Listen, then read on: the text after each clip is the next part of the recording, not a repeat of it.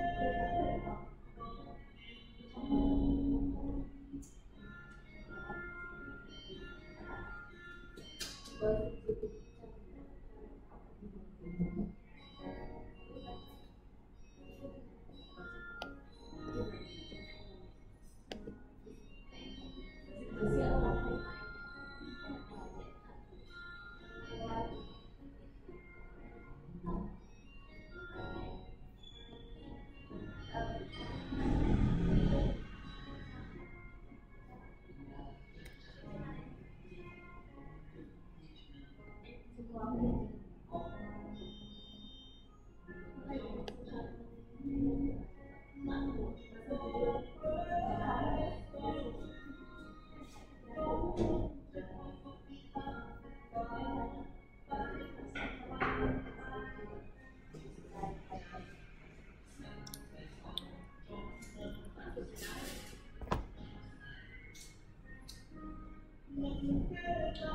ួស្តីសួ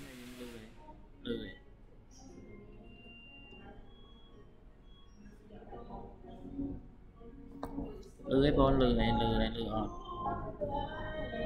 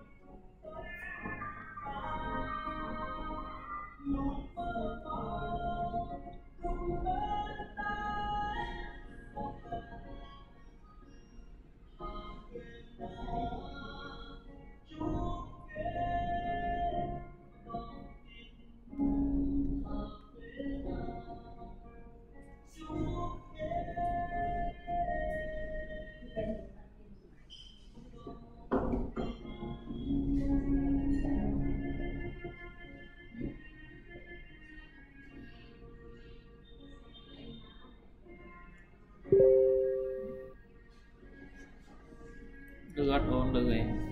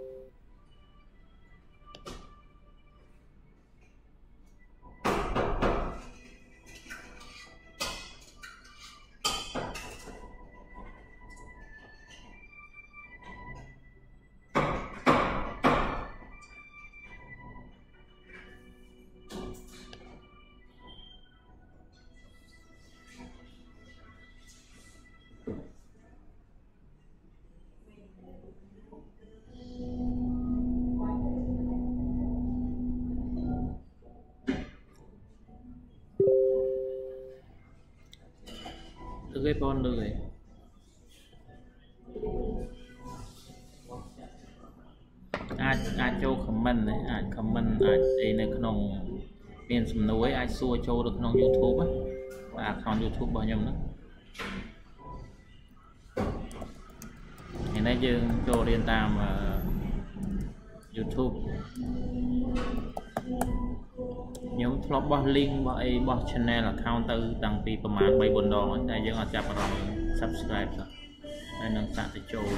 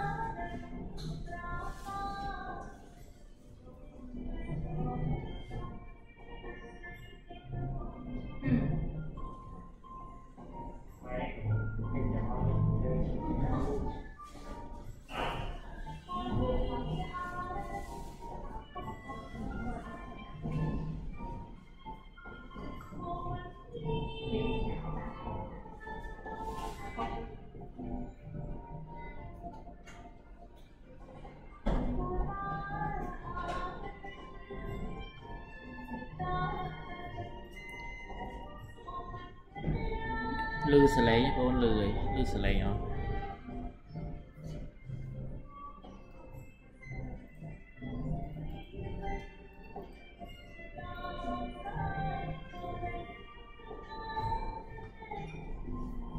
ចឹងថ្ងៃនេះយើងចាប់ផ្ដើមចូលរៀនមេរៀនទី2និយាយពាក់ព័ន្ធទៅនឹង demand and supply it mean that how market works តើ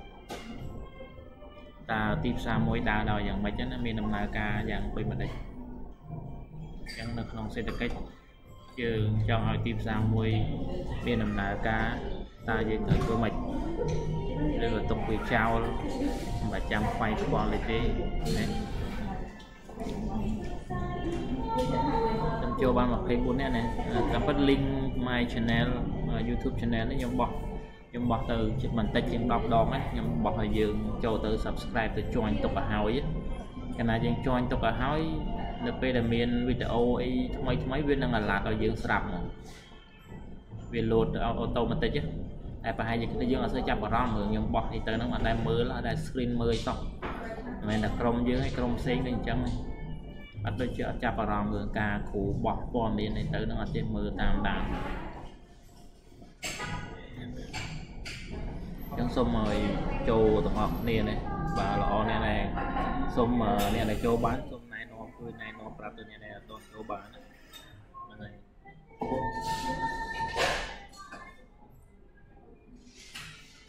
តែប៉ុតអត់ពិបាកទេយើងគ្រាន់តែយក Gmail account ទៅ subscribe ទៅយើងចូលបានហើយ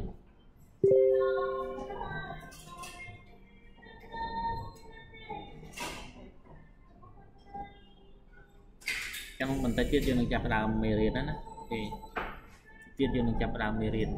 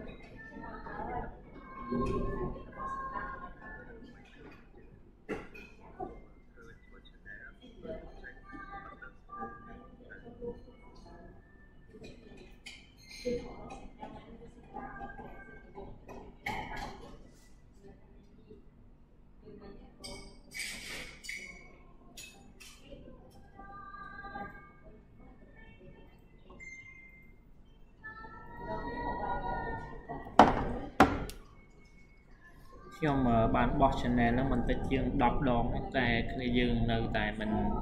បាទសូមសូមសរសើរបងប្រុសដែលត្រឹមឆ្នាំទី1សោះតែបងស្រង់ជើងបានល្អ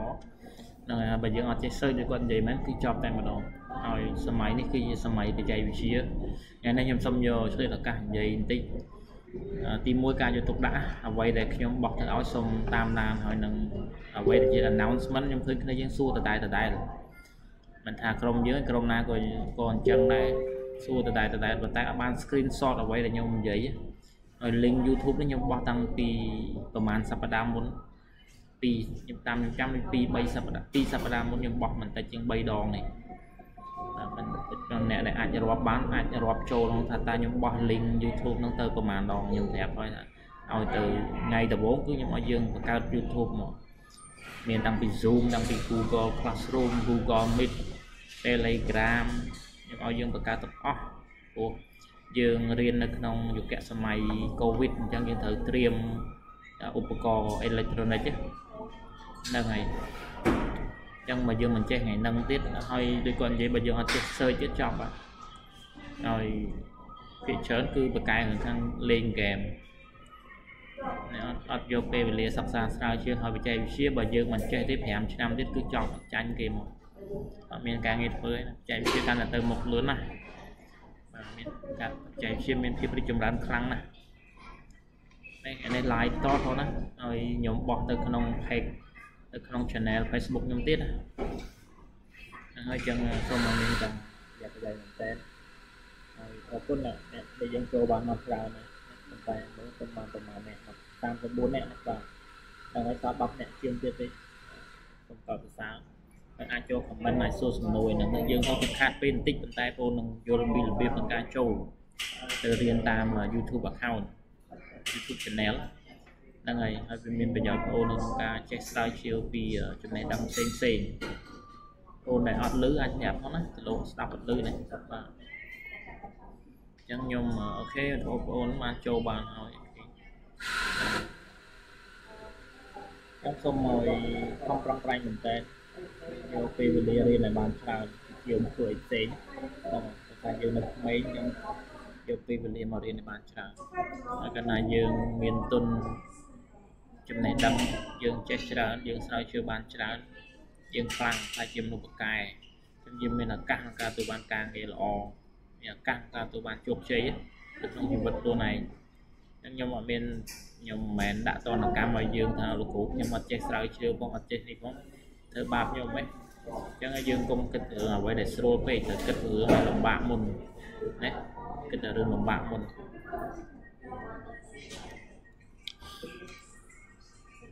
ឯណាយើងយើងភ្ជាប់តែម្ដងយើងរៀនភ្ជាប់តែម្ដងហ្នឹងហើយយើងភ្ជាប់ទៅតែម្ដងមិនបាច់ចាំសម្រាប់អីទេសារខេតពេលកន្លះម៉ោងដែលយើងចូលអត់តាន់ ខ្ញុំខ្ញុំមិញខ្ញុំខ្ញុំមកបាន announcement មុនដែរតែសារតែខ្ញុំគិតថាយើងចូល subscribe ឲ្យអស់ហើយពួកខ្ញុំបានបោះ link នឹង3ដងហើយយើងចូល subscribe ភ្ជាប់ឲ្យអស់ហ្នឹងខ្ញុំមិនបានមិនបាន inform ភាសាទៀតដែរថាខ្ញុំនឹងបរៀនតាម YouTube ហ្នឹងហើយអូខេអញ្ចឹង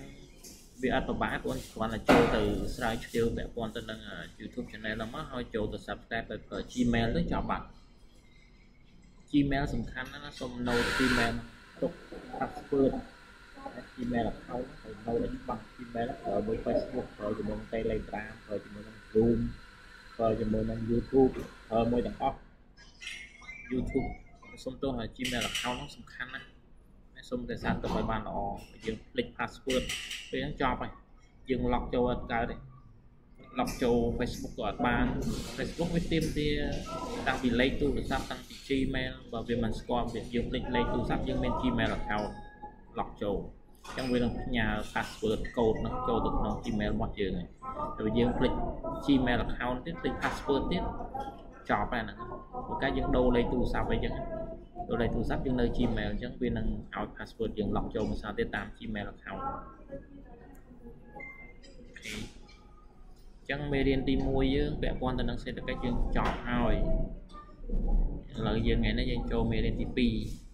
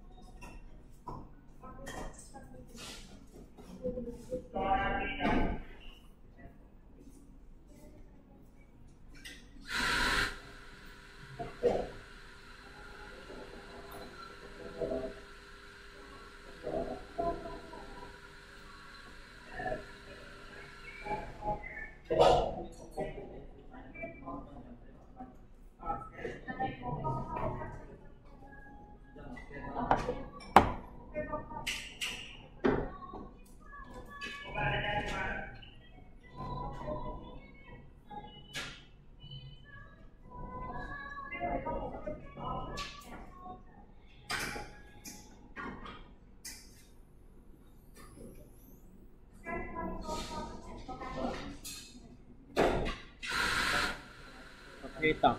យើងចាប់ដើមចាប់ដើមមេរៀនសិនទៅមានប៉ុណ្ណឹងទេហើយនេះយើងសិក្សាពាក់ព័ន្ធទៅនឹងមេរៀនទី2ដែលនិយាយពាក់ព័ន្ធទៅនឹង demand and supply demand and supply បកប្រែជាភាសាខ្មែរថាតម្រូវការនិងការផ្គត់ផ្គង់តម្រូវការនិងការផ្គត់ផ្គង់នៅពេលដែលតម្រូវការនិងផ្គត់ផ្គង់វាជួបគ្នាវាបង្កើតបង្កើតឲ្យមានទីផ្សារមួយអា market អញ្ចឹង market មិនបាច់ចាំធ្វើអីច្រើនទេធ្វើឲ្យតែមានតម្រូវការនៃការផ្គត់ផ្គង់ទៅទីផ្សារវាដើរដល់វិញដើរតែឯកឯងហ្មងតែបើគ្មានតម្រូវការគ្មានការផ្គត់ផ្គង់អញ្ចឹងទីផ្សារអត់ដើរឬក៏មានតែតម្រូវការអត់ការផ្គត់ផ្គង់ទីផ្សារក៏ដើរដែរឬក៏មានតែការផ្គត់ផ្គង់អត់តម្រូវការក៏អត់មានទីផ្សារដែរអញ្ចឹងដើម្បីឲ្យទីផ្សារមួយដើរលុះត្រាតែមានតម្រូវការនិងការផ្គត់ផ្គង់ឧទាហរណ៍ថាតើតើមានអ្នកលក់មានអ្នកលក់កាហ្វេតែអត់អ្នកទិញកាហ្វេក៏អត់មានទីផ្សារក៏ដើរដែរទីផ្សារកាហ្វេនឹងដើរលុះត្រាតែមានទាំងអ្នកគ្រប់គងទាំងអ្នកដែលមានតម្រូវការមានន័យថាសំដៅដល់មានអ្នកលក់និងអ្នកទិញតើតើមានអ្នកលក់និងអ្នកទិញទើបទីផ្សារវាដើរ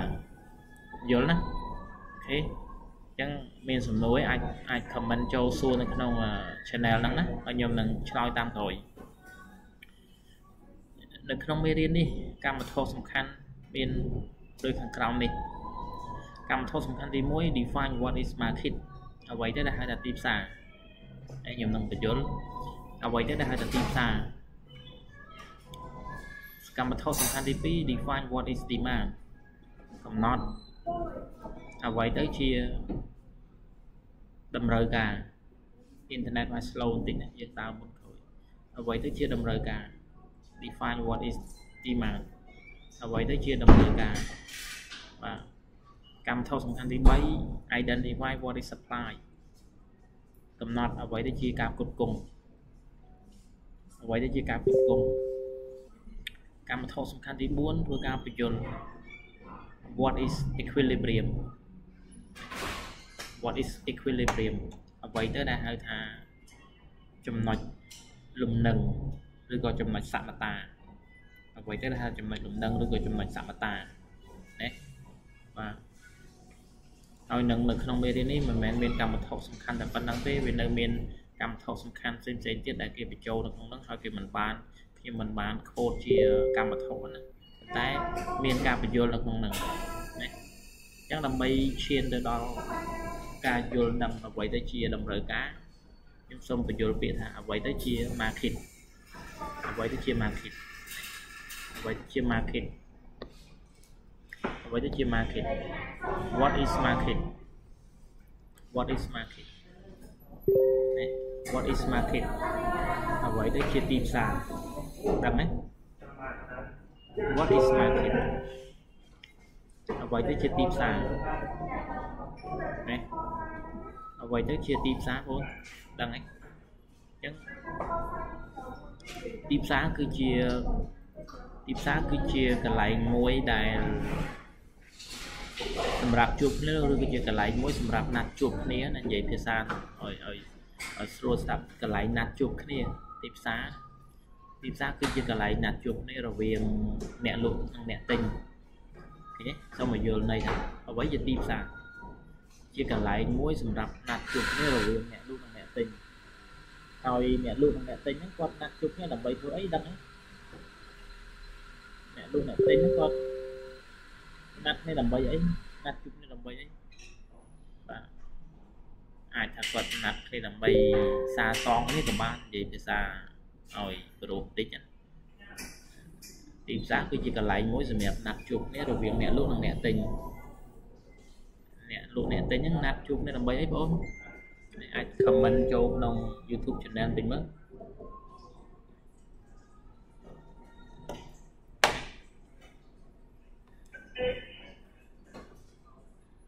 មើលបងណាអាចឆ្លើយតិចមើលអាចសេចូលក្នុង comment តិចមើល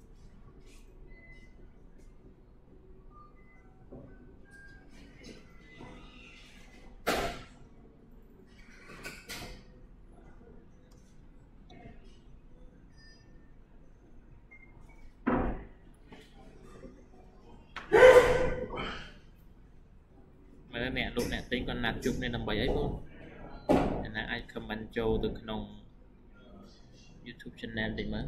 មើលខ្ញុំមើលតិចមើលកន្លែងដាក់ដូរតំណែងយកទៅប្រើប្រាស់អូនេះពិតជាល្អហ្នឹងហើយ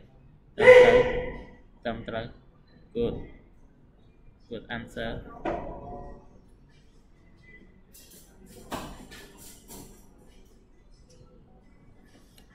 ចឹង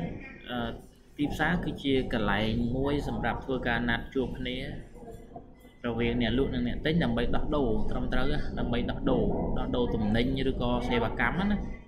បាទភាសាសគ្នាក៏ចរចាគ្នាក៏សម្របសម្រួលគ្នាហើយនិយាយភាសាខ្មែរយើងសាសងឬក៏ភាសាដៃគូអញ្ញាគ្នាណាសុំទោសបាទភាសាសងគ្នាសុំទោសណានិយាយពាក្យលេងពេកសោច ទេតែវាអាចមានន័យអញ្ចឹងណាត់ជួបគ្នាដើម្បីដោះដូរគ្នាដោះដូរដោះដូរគ្នាដោះដូរអីដោះដូរទំនិញឬក៏សេវាកម្មហើយដើម្បីដោះដូរទំនិញឬក៏សេវាកម្មហ្នឹងមិនមែនចេះដោះដូរទេត្រូវការចរចានៅក្នុងនោះតើតើមានជំនាញចរចាអ្នកលក់នោះត្រូវមានជំនាញក្នុងការចរចាសម្របសម្រួលកែនិយាយដែលបកែបកស្រាយបកែបញ្យលពីហេតុផលថាប្រើទំនិញហ្នឹងទៅល្អណាស់មានគុណភាពមានអត្ថប្រយោជន៍ ណាអាចជួបគ្នាដើម្បីធ្វើការដោះដូរមិនមែនគ្រាន់តែយកទំនិញទៅអស់នេះជាអីយកនេះបងឯងយកបងឯងយកមិនមែនអញ្ចឹងទេបាទនេះទៅជួបគ្នាដើម្បីប្រស្រ័យតាក់ទងគ្នាអង្គុយផឹកកាហ្វេមួយកែវសិនចាំឲ្យចាំនិយាយគ្នាពាក់ព័ន្ធនឹងការជួញដូរហ្នឹងអញ្ចឹងកន្លែងណាត់ជួបគ្នារវាងអ្នកលក់និងអ្នកទិញដើម្បីធ្វើការដោះដូរទំនិញឬក៏សេវាកម្មដើម្បីអីបងក្នុងគោលបំណងដើម្បីអី អ្នកលក់អ្នកទិញក៏ជួបគ្នាដើម្បីបង្កើតជាទីផ្សារហ្នឹងក្នុងគោលបំណងដើម្បីអីឬក៏គ្រាន់តែដោះដូរទំនិញនិងសេវាកម្មហ្នឹងឲ្យចប់ដើម្បីអីគេដើម្បីទទួលបានអត្ថប្រយោជន៍រៀងរៀងខ្លួនដើម្បីទទួលបាននៅអត្ថប្រយោជន៍រៀងរៀងខ្លួនណាបាទអញ្ចឹងអ្នកលក់អ្នកទិញហ្នឹងគាត់ជួបគ្នាដើម្បីធ្វើការដោះដូរដោះដូរទំនិញឬក៏សេវាកម្មហ្នឹងក្នុងគោលបំណងដើម្បីទទួលបាននៅ អត្ថប្រយោជន៍រៀងរៀងខ្លួនអត្ថប្រយោជន៍រៀងរៀងខ្លួនហ្នឹងតើអ្នកលក់ទទួលបានអីអ្នកទិញទទួលបានអីអ្នកលក់ក៏ទទួលបាននៅអឺប្រាក់ចំណេញដែលចំណូលរបស់គាត់ទទួលបានចំណូលហើយអ្នកទិញនោះក៏ទទួលបានទំនិញទំនិញនៅក្នុងដៃរបស់គាត់ទទួលបានការប្រើប្រាស់សេវាកម្មប៉ុន្តែអ្វីដែលគាត់ទទួលបានចុងក្រោយគឺអត្ថប្រយោជន៍អត្ថប្រយោជន៍ឬក៏គុណតម្លៃគុណតម្លៃពីការប្រើប្រាស់របស់មួយហ្នឹង គុណតម្លៃពីការទទួលយកសេវាកម្មមួយហ្នឹងឧទាហរណ៍ថាបើគាត់បើយើងលក់ទឹកសុទ្ធម្ដងឲ្យគាត់គាត់មិនមែនគ្រាន់តែទទួលបានទឹកសុទ្ធនឹងម្ដងទេគាត់ទទួលបានអត្ថប្រយោជន៍ពីការពីការប្រើប្រាស់ទឹកហ្នឹងទឹកហ្នឹងវាមានគុណប្រយោជន៍មិនខ្លះសម្រាប់គាត់បើញ៉ាំទៅដើម្បីបាត់ការស្រេកទឹកទិញទឹកអំពៅមួយកែវហ្នឹងមិនមែនគ្រាន់តែបានទឹកអំពៅមួយកែវនោះទេគឺទទួលបានភាពពេញចិត្តពីការប្រើប្រាស់ទឹកអំពៅហ្នឹងគឺញ៉ាំទៅធ្វើឲ្យគាត់នឹងមានរសជាតិផ្អែមនៅក្នុងមាត់របស់គាត់តិច បាទបាត់ស្រេកទឹក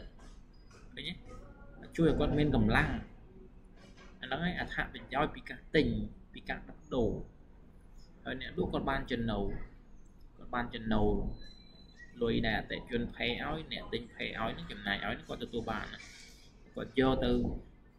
បំរើឲ្យនៅក្នុងផលប្រយោជន៍នៅក្នុងក្រុមហ៊ុនរបស់គាត់អាជីវកម្មរបស់គាត់ផលិតកម្មរបស់គាត់ឃើញ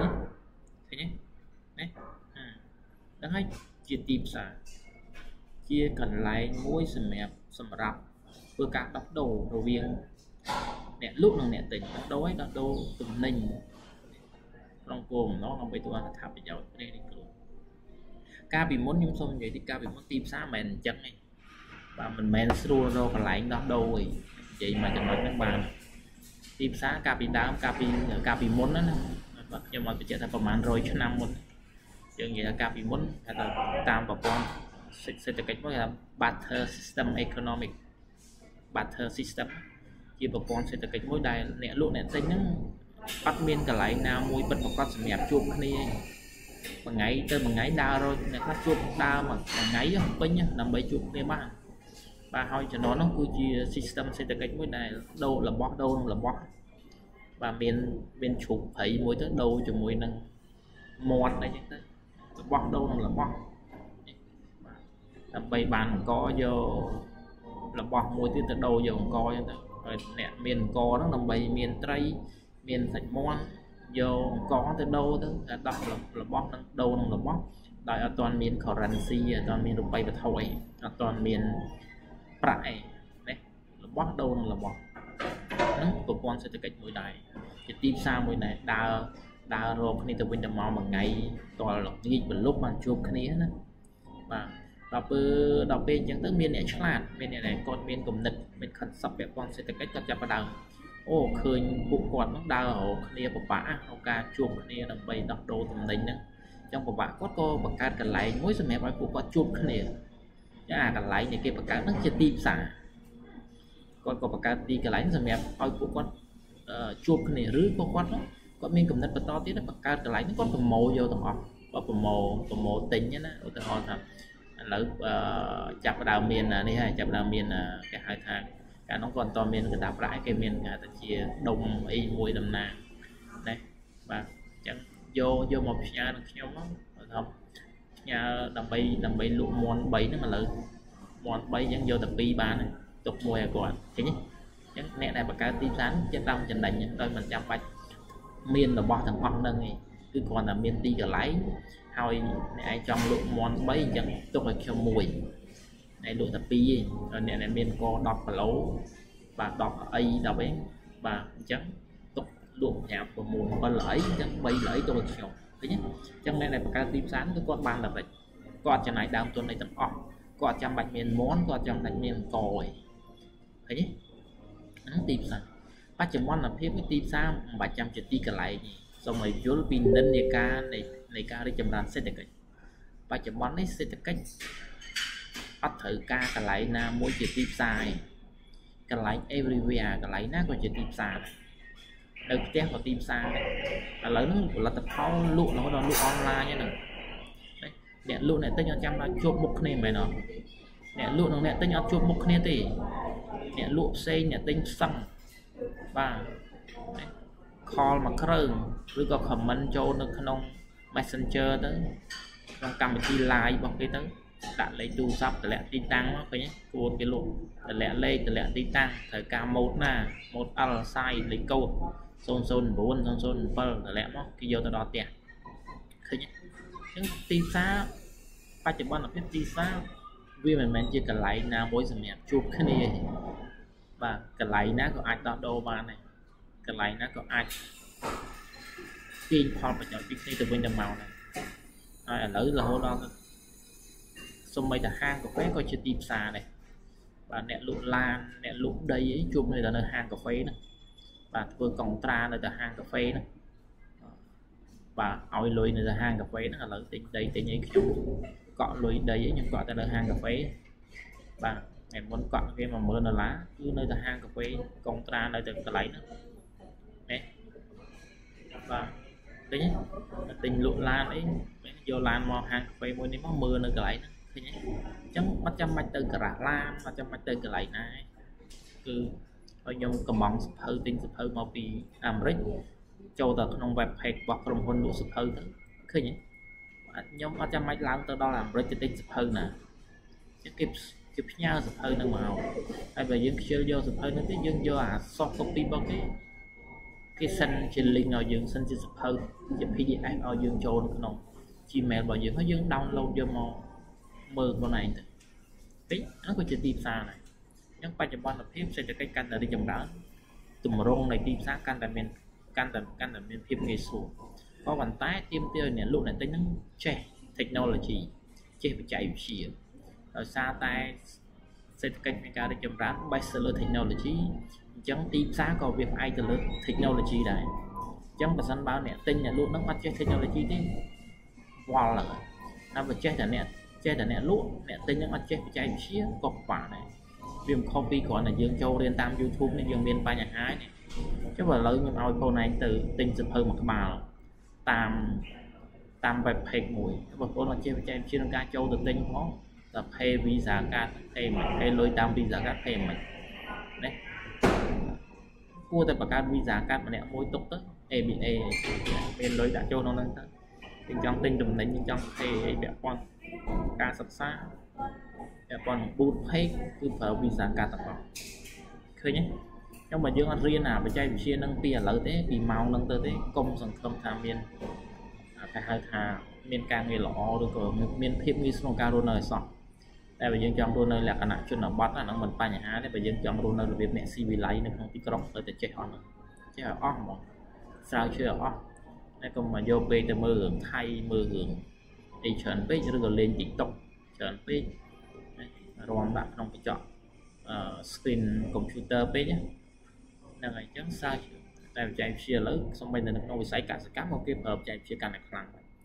ដល់វិជាបើកទឹកពីចង្ងាយវិជាបើកភ្លើងពីចង្ងាយណា កសិកម្មឥឡូវនៅប្រទេសមួយចំនួនគេប្រើ drone ប្រើ drone បាញ់ថ្នាំសត្វល្អិតប្រើ drone បាញ់ទឹកឯណាលេងប្រើមនុស្សបាត់ហើយសូមសូមប្រយ័ត្នមែនតើសូមសូមតាមដានមែនតើប្រើ system ប្រើកូដ program មកហើយណាក្នុងវិស័យខ្លះប្រទេសអភិវឌ្ឍគេប្រើ robot ទៀតឥឡូវនោះប្រើមនុស្សយន្តហើយ ឈ្មោះញ៉ាំមុនខ្ញុំចូលរួមសិក្ខាសាលាពាក់ព័ន្ធទៅនឹងបច្ចេកវិទ្យាហ្នឹង robot មួយឈ្មោះ Sophia មានសញ្ជាតិណាមនុស្សយន្តតែគេឲ្យសញ្ជាតិហ្នឹងត្រូវបានអង្គការសហជីវជាតិទទួលស្គាល់ហើយគាត់អាចនិយាយជាមួយមនុស្សបានអាចអឺបញ្យល់យើងយើងចង់សួរពីអីក៏នឹងបញ្យល់ពីអាហ្នឹងមកណាអញ្ចឹងបច្ចេកវិទ្យាដើរខ្លាំងណាស់សូមតាមដានមែនតើ អូខេអញ្ចឹងបងយល់ណាអ្វីដែលជាទីផ្សារប្រយ័ត្នសួរឡើងវិញឲ្យបញ្យល់លើកឧទាហរណ៍អត់អត់ដឹងណាហ្នឹងហើយអ្វីដែលជាទីផ្សារខ្ញុំបញ្យល់ហើយតោះយើងចូលទៅមួយទៀតចំណុចនេះគឺពាក់ព័ន្ធទៅនឹង quantity demanded បរិមាណតម្រូវការក៏ប៉ុន្តែបងអូនបានយល់ពាក្យនេះហើយឬនៅតម្រូវការតម្រូវការ មុននឹងយើងយល់ពាក់ព័ន្ធទៅនឹង quantity demanded អូនត្រូវយល់អ្វីទៅជាតម្រូវការជាមុនសិនណាអ្វីទៅជាតម្រូវការអ្វីទៅជាតម្រូវការតម្រូវការសំដៅទៅដល់អិរិយាបថអិរិយាបថតម្រូវការណាអត់មាននៅក្នុងអានេះមិនមែនការបញ្យល់ពាក់ព័ន្ធតម្រូវការណាបាទអត់មាននៅក្នុង slide ហ្នឹងទេតម្រូវការសំដៅទៅដល់អិរិយាបថ អិរិយាបថឬក៏អាកប្បកិរិយាអិរិយាបថរបស់អ្នកទិញនិយាយឲ្យខ្លីតម្រូវការសំដៅទៅដល់អិរិយាបថនិងការសម្រេចចិត្តរបស់អ្នកទិញ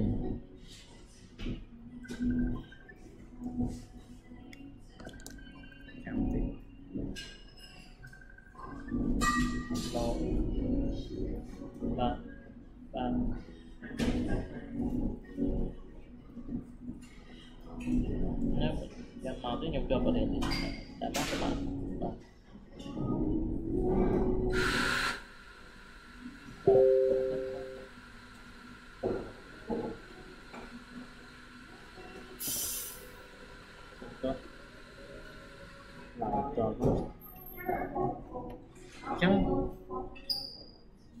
តម្រូវការសំដៅទៅរកអរិយាបថអរិយាបថ ហើយនឹងការសម្រេចចិត្តរបស់អ្នកទិញដែលមានបំណងឬក៏មានឆន្ទៈនៅក្នុងការទិញទំនិញក្នុងតម្លៃណាមួយ ក្នុងរយៈពេលណាមួយក្នុងពេលណាមួយនេះតម្រូវការសំដៅទៅដល់អរិយាបថឬក៏អកប្បកិរិយានិងការសម្រេចចិត្តរបស់អ្នកទិញដែលមានបំណងឬក៏មានឆន្ទៈ នៅក្នុងការទិញទំនិញក្នុងតម្លៃណាមួយក្នុងតម្លៃណាមួយ ក្នុងពេលណាមួយនឹងគេហៅថាតម្រូវការតម្រូវការណាស្ដាប់ឲ្យតន់តម្រូវការសំដៅទៅដល់អិរិយាបថនិងការសម្រេចចិត្តអិរិយាបថនិងការសម្រេចចិត្តរបស់អ្នកទិញ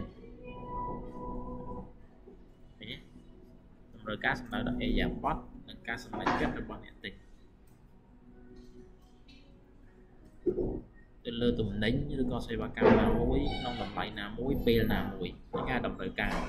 ចុះបរិមាណតម្រូវការនោះគាត់នៅលើកទៅពីថាបរិមាណគាត់នឹងយល់សំដៅទៅដល់ចំនួនបរិមាណតម្រូវការសំដៅទៅដល់ចំនួនឃើញទេ refer to amount សំដៅទៅដល់ចំនួន សំដៅដល់ចំនួននៅពេលបើកវងកញ្ចក់បរិមាណឃើញទេសំដៅទៅដល់ចំនួនឬក៏បរិមាណរបស់ទំនិញខុសគ្នាណាតម្រូវការនិងបរិមាណតម្រូវការខុសគ្នាបញ្ជាក់ឲ្យប្រៀបធៀបថាតើតម្រូវការនិងបរិមាណតម្រូវការខុសគ្នាមិនណាបញ្ជាក់ណាអញ្ចឹងបរិមាណតម្រូវការសំដៅទៅដល់ចំនួនឬក៏បរិមាណរបស់ទំនិញដែលអ្នកទិញនោះ ដែលអ្នកទិញមានបំណងនៅក្នុងការទិញទំនិញក្នុងតម្លៃណាមួយ សម្រាប់រយៈពេលណាមួយហ្នឹងណាវាបញ្ជាក់ច្បាស់ណា add alternative price for a given period ទិញក្នុងតម្លៃដែលដែលគាត់គិតថាសមរម្យទិញក្នុងតម្លៃជំរើសណាមួយ alternative price មានតម្លៃដែលដែលគាត់អាចជ្រើសរើសយកបានតម្លៃដែលគាត់អាចទទួលយកបានទិញក្នុងតម្លៃណាមួយ ក្នុងពេលណាមួយ for a given period សូមញែក clear នឹងឲ្យច្បាស់ពាក្យដែលយើងនិយាយអត់ដាច់យើងនឹងបញ្យល់ខុសឲ្យស្ដាប់អត់បានទេ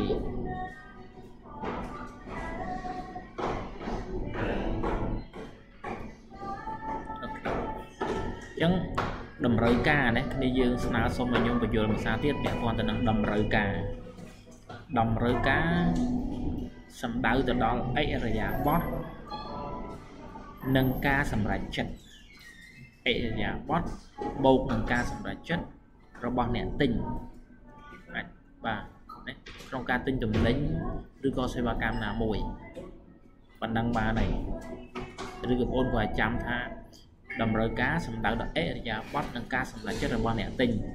ប៉ុណ្ណឹងឲ្យខ្លីស្អីគេបរិមាណតម្រូវការបរិមាណតម្រូវការសំដៅទៅដល់ ចំនួនឬក៏បរិមាណរបស់ទំនិញដែលអ្នកទិញហ្នឹងគាត់មានឆន្ទៈមានឆន្ទៈ are willing មានឆន្ទៈនៅក្នុងការលក់សំដៅមានឆន្ទៈនៅក្នុងការទិញទំនិញក្នុងតម្លៃណាមួយ សម្រាប់រយៈពេលណាមួយឃើញណាបាទតោះណាណាបាទទៅមុខទៀត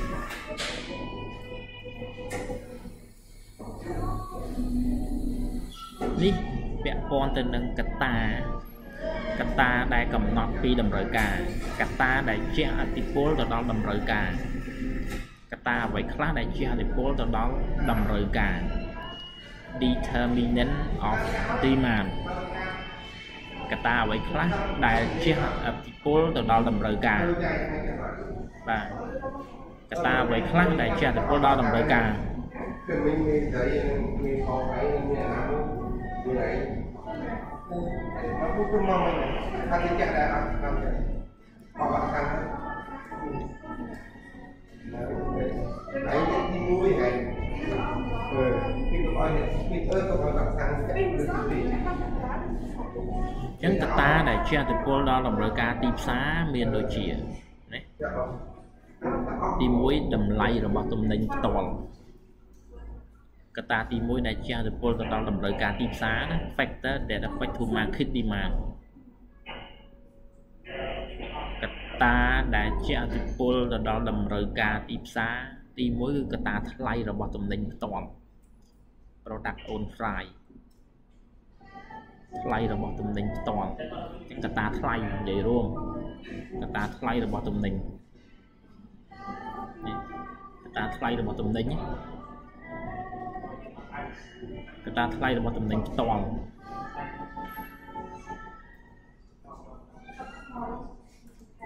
កត្តាថ្លៃរបស់ទំនិញផ្ទាល់កត្តាថ្លៃទំនិញនៅពេលដែលថ្លៃរបស់ទំនិញមានការប្រែប្រួលនោះតម្រូវការទីផ្សារក៏មានការប្រែប្រួលតាមនឹងដែរណាបាទហើយកាលណាតម្រូវការទីផ្សារប្រែប្រួលហើយបរិមាណតម្រូវការក៏វាប្រែប្រួលតាមនឹងដែរឃើញទេ ឧទាហរណ៍ថា ice cream តម្លៃរបស់ឧទាហរណ៍ pizza ចុះបាទតម្លៃរបស់ pizza កើននោះតម្រូវការ pizza នឹងធ្លាក់ចុះតែបើតម្រូវការ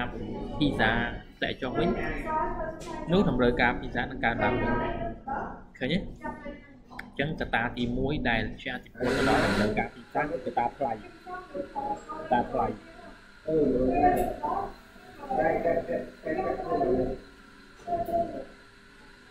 ទី2គឺកត្តាចំណូលចំណូលរបស់អ្នកប្រើប្រាស់ឃើញទេចំណូលរបស់អ្នកប្រើប្រាស់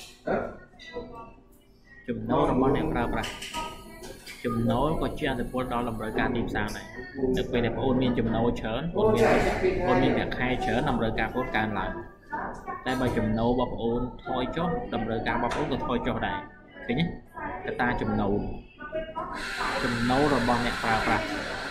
ជាអតិពលទៅដល់តម្រូវការទីផ្សារឃើញទេហើយយើងមើលនៅក្នុងសម័យកូវីដនេះចំណូលរបស់អ្នកប្រើប្រាស់ថយចុះឃើញទេចំណូលរបស់អ្នកប្រើប្រាស់ថយចុះចឹងធ្វើឲ្យតម្រូវការទីផ្សារមានការធ្លាក់ចុះឃើញទេបាទហាង restaurant កន្លែងលក់ទំនិញផ្សេងផ្សេងចំណូលរបស់គាត់ធ្លាក់ចុះទាំងអស់ដោយសារតែអ្នកប្រើប្រាស់ហ្នឹងចំណូលរបស់គាត់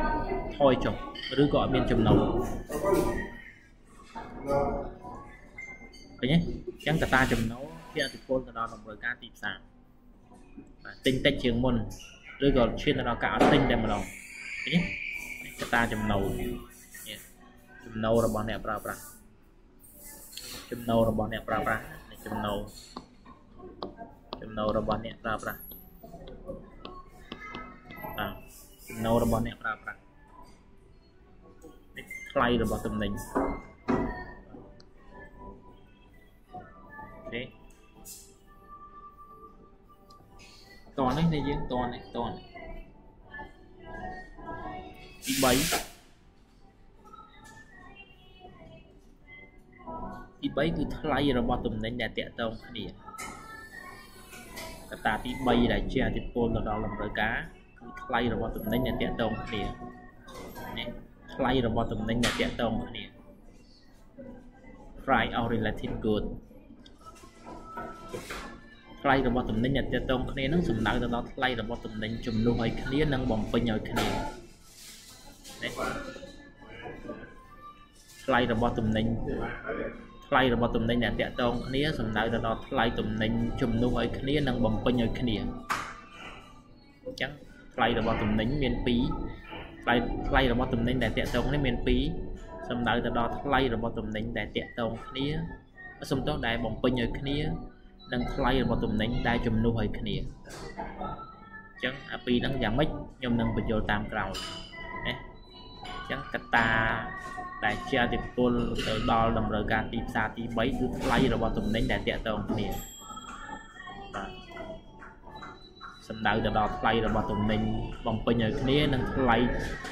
របស់ទំនិញជំនួសឲ្យគ្នាហើយទំនិញណាដែលជាទំនិញបំពេញឲ្យគ្នាទំនិញណាជាទំនិញជំនួសឲ្យគ្នា សុំសួរអាហ្នឹងអូនគួរតែសួរថាថ្លៃរបស់ទំនិញបំពេញឲ្យគ្នាទំនិញណាដែលចាត់ទុកថាជាទំនិញបំពេញឲ្យគ្នាលោកគ្រូហើយតំណែងណាខ្លះចាត់ទុកជាតំណែងជំនួសឲ្យគ្នាហើយនៅពេលដែលថ្លៃវាប្រែប្រួលតើវាចេះធ្វើយ៉ាងម៉េចទៅដល់តម្រូវការតំណែងផ្សេងទៀតឃើញទេណាខ្ញុំនឹងបញ្យល់តាមក្រោយកត្តាទី4គឺ task and preference រសជាតិហើយនឹងចំណង់ចំណូលចិត្តណាបាទ ឬក៏និយាយថាចំណង់ចំណូលចិត្តសម្បីតែចំណង់ចំណូលចិត្តក៏ជះឥទ្ធិពលទៅដល់តម្រូវការដែរចំណង់ចំណូលចិត្តក៏ជាឥទ្ធិពលដល់តម្រូវការដែរតម្រូវការសំទោសចំណង់ចំណូលចិត្តរបស់អ្នកប្រើប្រាស់ក៏ជាឥទ្ធិពលដល់តម្រូវការទីផ្សារដែរដូចខ្ញុំធ្លាប់និយាយហ្នឹងកាលណាយើងចូលចិត្តយើងទិញច្រើនបើយើងអត់ចូលចិត្តទេយើងទិញតិចទេអាតំណែងហ្នឹង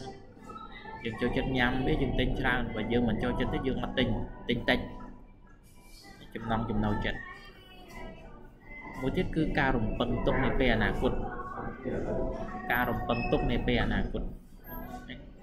ការរំពឹងទុកនៅពេលអនាគតក៏ជាកត្តាមួយដែលជាឥទ្ធិពលដល់តម្រូវការទីផ្សារដែរបាទយើងរំពឹងទៅឧទាហរណ៍ថាខែក្រោយឬក៏ឆ្នាំក្រោយខ្ញុំរំពឹងថាខ្ញុំនឹងទទួលបានចំណូលច្រើនជាងមុនអញ្ចឹងខែក្រោយឆ្នាំក្រោយយើងទិញច្រើនយើងមានតម្រូវការច្រើនខែនេះឆ្នាំនេះយើងអត់ទិញទេឬយើងរំពឹងថាខែក្រោយ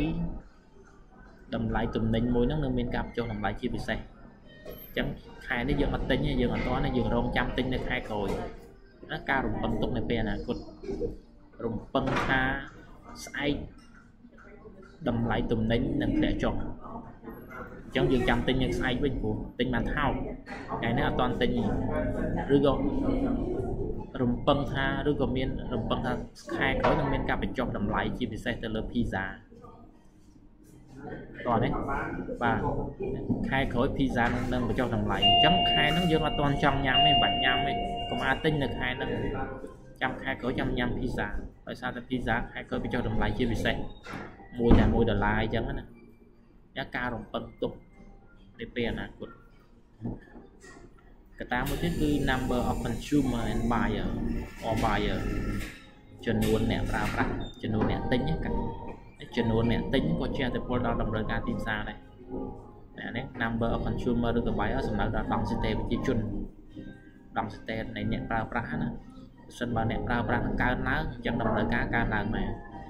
បើសិនតម្រូវការបើសិនបើអ្នកប្រើប្រាស់អ្នកប្រើប្រាស់ធ្លាក់ចុះតម្រូវការទីផ្សារក៏ធ្លាក់ចុះតាមនឹងដែរ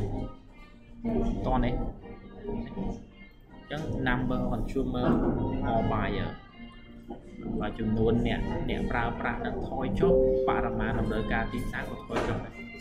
បើចំនួនអ្នកប្រើប្រាស់កើនឡើងតម្រូវការទីផ្សារក៏កើនឡើងដែរហើយនឹងកត្តាមួយទៀតបងប្អូន note ខ្លួនឯងគឺកត្តាអាកាសធាតុ weather weather កត្តាអាកាសធាតុកត្តាអាកាសធាតុកត្តាអាកាសធាតុក៏ជះឥទ្ធិពលដល់តម្រូវការទីផ្សារដែរកត្តាអាកាសធាតុ the weather weather weather condition ណាកត្តាអាកាសធាតុក៏ជះឥទ្ធិពលទៅដល់តម្រូវការទីផ្សារដែរអាកាសធាតុឧទាហរណ៍ទឹកណាទឹកជំនន់អីចឹងទៅបាទមានទឹកជំនន់ឬក៏ climate change បំរែបំរួលអាកាសធាតុបាទបំរែបំរួលអាកាសធាតុក៏ជះឥទ្ធិពលដល់តម្រូវការដែរទីផ្សារដែរទំនិញខ្លះកើនឡើងទំនិញខ្លះថយចុះ បាទដូចភ្លៀង7យប់7ថ្ងៃមើលបើបំតម្រូវការអាវលងាកើនឡើងតម្រូវការអាវលងាអាវភ្លៀងកើនឡើងអាកាសធាតុក្តៅខ្លាំងមកបំតម្រូវការការ៉េមអៃស្គ្រីមកើនឡើងណាសាក់តិចខែមើលចុះគេថាអាកាសធាតុតិចខ្លាំងមួយខែមើលបំអាវលងាលក់បញ្ចេញរាប់ម៉ឺនរាប់សែនអាវលើអ្នកលក់អាវនៅអូឡ িম্প ិកហើយជាអ្នកមានទៀតឡើយឃើញទេតោះណា តោះណាអ្នកគ្នាយើងចឹង number of consumer and buyers ហើយ the weather condition ហើយនឹងមួយទៀតកត្តាមួយទៀតបងត្រូវ note ដែរគឺអឺពាក់ព័ន្ធទៅនឹង virus virus condition ណាពាក់ព័ន្ធនឹង virus ពាក់ព័ន្ធនឹងជំងឺអាហ្នឹងយូរមានម្ដងឯងពាក់ព័ន្ធនឹងអឺហៅថាអញនិយាយថាសង្គ្រាមជីវសាស្ត្រ ព័ន្ធនឹងសង្គ្រាមជីវសាស្ត្រក៏ជាកត្តាមួយដែលជាពលដល់តម្រូវការអឺទីផ្សារដែរសង្គ្រាមជីវសាស្ត្រដូចជាអា COVID នេះវាជា COVID ដែលមកពីចិននេះអាហ្នឹងក៏ចាត់ទុកថាជាសង្គ្រាមជីវសាស្ត្រមួយដែរណាបាទយើងអត់ដឹងថាណាបង្កើតផលិតវាពិតប្រាកដទេហើយធ្វើឲ្យពិភពលោកហ្នឹងខ្ទេចខ្ទាំដោយសារតែវាណា COVID ណា COVID ហ្នឹងវាចាត់ទុកថាជា virus មួយជាមេរោគមួយហើយចាត់ទុកថាជាសង្គ្រាមជីវសាស្ត្រមួយដែលអត់ទាន់ដឹងថាប្រទេសណាអ្នកបង្កើតហើយវាធ្វើឲ្យប៉ះពាល់ទៅដល់សេដ្ឋកិច្ចទូទាំងពិភពលោកប៉ះពាល់ដល់តម្រូវការពាក់ព័ន្ធដល់ការគ្រប់គ្រងប៉ះពាល់ដល់ចំណូលជីវភាពរបស់មនុស្សក្នុងសង្គមតោះនេះតោះណាទេបាទទេបាទ នៅក្នុងចំណុចហ្នឹងគឺតាមរយៈតាមរយៈការសិក្សាមុនហ្នឹងគឺពាក់ព័ន្ធនឹងកត្តាមួយដែលសំខាន់ឲ្យគេបង្កើតជាច្បាប់គឺពាក់ព័ន្ធនឹងកត្តាថ្លៃកត្តាថ្លៃរបស់តំណែងបាទតម្រូវការទីផ្សារប្រែប្រួលដោយសារតែកត្តាថ្លៃឥឡូវគេលើកយកពាក់ព័ន្ធនឹងថ្លៃមកធ្វើការសិក្សាឲ្យបង្កើតបានជាច្បាប់មួយ law demand law demand ណាច្បាប់តម្រូវការព្រោះ នៅក្នុងចំណោមកត្តាទាំងអស់ហ្នឹងគេលើកយកតែកត្តាថ្លៃមួយមកធ្វើការសិក្សាព្រោះវាជាចំណុចគឺកត្តាមួយដែលសំខាន់គឺកត្តាមួយដែលសំខាន់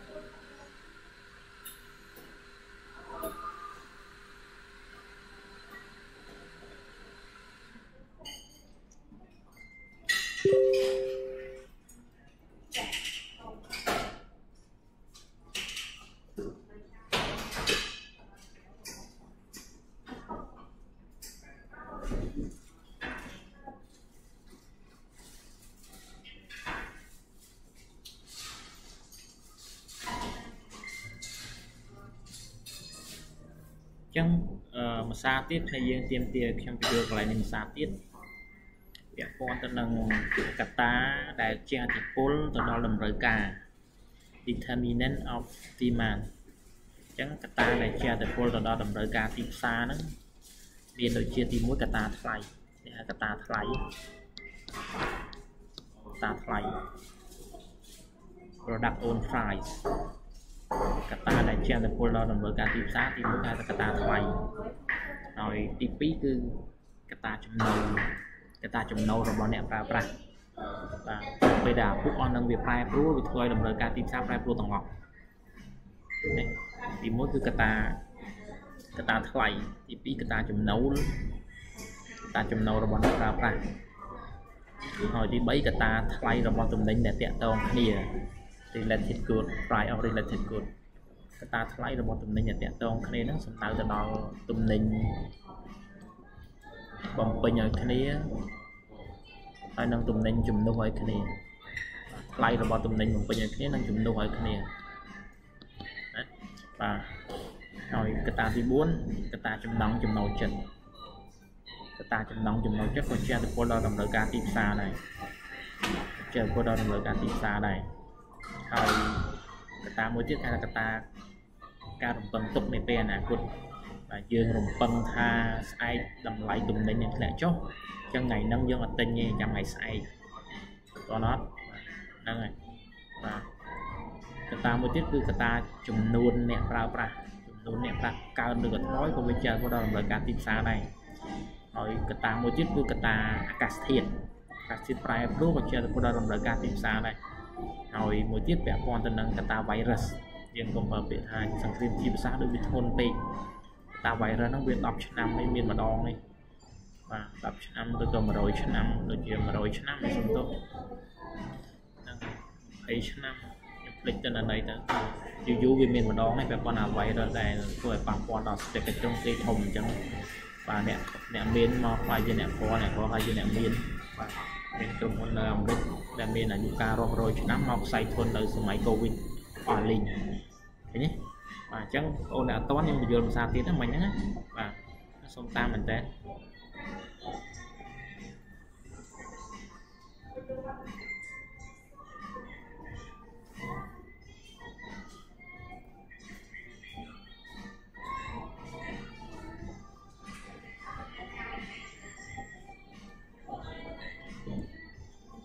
ពេលនេះច្បាប់ច្បាប់តម្រូវការ ច្បាប់តម្រូវការគឺចែងតែទំនាក់ទំនងរវាងថ្លៃនិងបរិមាណតម្រូវការនេះច្បាប់តម្រូវការណា law demand ច្បាប់តម្រូវការព្រោះកត្តាថ្លៃជាកត្តាមួយដែលសំខាន់តែគេត្រូវលើកយកមកសិក្សាណាប៉ុន្តែមិនមែននិយាយអញ្ចឹងមិនមែនកត្តាផ្សេងមិនសំខាន់នៅក្នុងការសិក្សាទេនៅក្នុងសេដ្ឋកិច្ចយើងសិក្សាទាំងអស់ក៏ប៉ុន្តែនៅកន្លែងនេះគឺយើងសិក្សាតែកត្តាថ្លៃមួយ ហើយគេក៏បានចែងច្បាប់ពាក់ព័ន្ធនឹងកត្តាថ្លៃហ្នឹងទៅគេថា law demand នេះច្បាប់តម្រូវការច្បាប់តម្រូវការបាទច្បាប់តម្រូវការច្បាប់តម្រូវការចែងថាច្បាប់តម្រូវការចែងថាកត្តាផ្សេងផ្សេងទៀតមិនប្រែប្រួល other thing equal កត្តាផ្សេងផ្សេងទៀតមិនប្រែប្រួលកត្តាផ្សេងផ្សេងទៀតនឹងសំដៅដល់កត្តាទាំងឡាយណាដែលក្រៅពីកត្តាថ្លៃក្រៅពីអានេះបាទច្បាប់តម្រូវការចែងថាកត្តាផ្សេងផ្សេងទៀតមិនប្រែប្រួលនោះបរិមាណតម្រូវការរបស់តំណែងមួយធ្លាក់ចុះនៅពេលដែលថ្លៃរបស់តំណែងមួយនោះកើនឡើងឃើញទេអញ្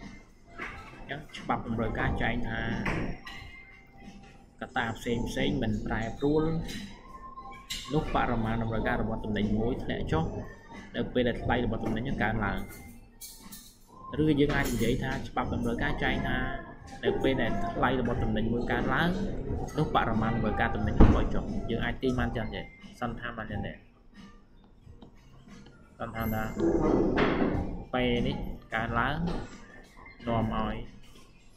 គុយ D នេះនេះបរិមាណតម្រូវការថយចុះបាទហើយនៅពេលដែលពេលនេះវាថយចុះវិញនាំឲ្យគុយ B នេះកើនឡើងបាទហើយកត្តាផ្សេងផ្សេងទៀតគឺមិនប្រែប្រួលសន្តាននេះច្បាប់ law demand law demand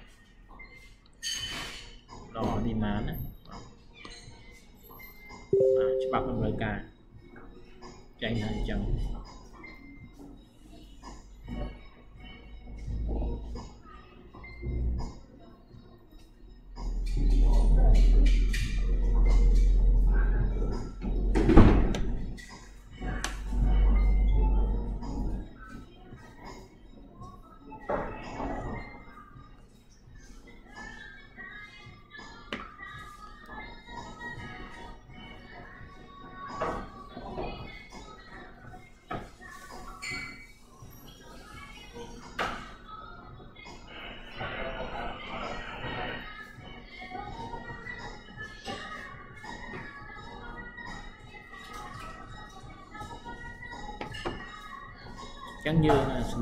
សម្រាប់ប៉ុណ្្នឹងសិនទៅនេះបាទប្រហែលជាពិបាកក្នុងការរៀនតាម YouTube បន្តិចដោយសារតែអ៊ីនធឺណិតវា slow